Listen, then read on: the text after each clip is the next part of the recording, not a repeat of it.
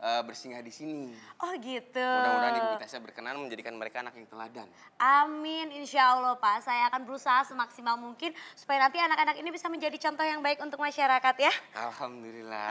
Baik, boleh, boleh, boleh. Mari. Assalamualaikum. Waalaikumsalam. Halo Ibu Tasya. Iya. Saya Boy Permana. Oh, Bapak Boy yang kemarin telepon ya? Iya, dan ini anak-anaknya yang saya rencanakan untuk eh, bersinggah di sini. Oh gitu. Mudah-mudahan Ibu Tasya berkenan menjadikan mereka anak yang teladan. Amin, insya Allah Pak. Saya akan berusaha semaksimal mungkin supaya nanti anak-anak ini bisa menjadi contoh yang baik untuk masyarakat ya. Alhamdulillah. Uh, dasar anak setan, susah banget sih diaturnya. Astagfirullahaladzim Ibu Tasya. Kenapa Ibu berbicara seperti itu? Apalagi depan anak-anak. Seharusnya Ibu Tasya bisa memberikan contoh yang teladan. Bukan berbicara seperti itu, Bu. Aduh, eh, maaf nih Pak Boy, jangan emosi dulu ya. Mereka itu memang anak setan. Kalau Bapak nggak percaya, lihat aja sendiri. Tuh, Wah! Astagfirullahaladzim. ada tamu, ada tamu. Saya Aduh, bacain eh, eh, eh. Al-Quran ya. Aduh, eh, Ibu Tasya, Ibu Tasya. Kenapa ada anak setan juga di sini? Ini Pak, ini kan memang ketinggalan. Sini lu, ikut gua. Nah, Cang. Bocah anak orang kaya kayaknya nih. Mana? Jatah. Eh, boy. Woi, Kayaknya temennya banyak nih, boy. Iya, lo palak lagi.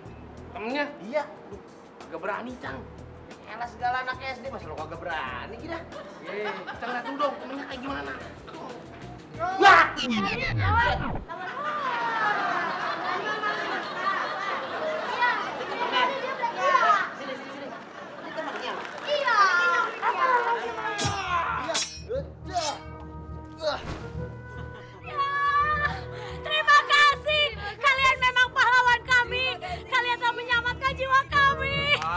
Aja. Sudah biasa itu. Dan itu memang tugas kami. Iya. Bukan sama kalian, tapi mereka.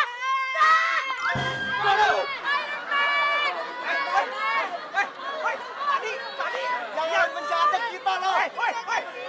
Tadi kita yang berantem. Eh, tadi kita yang berantem tahu.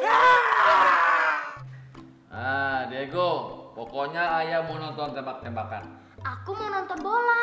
Pak, Pak, kalau aku mau nonton film horor.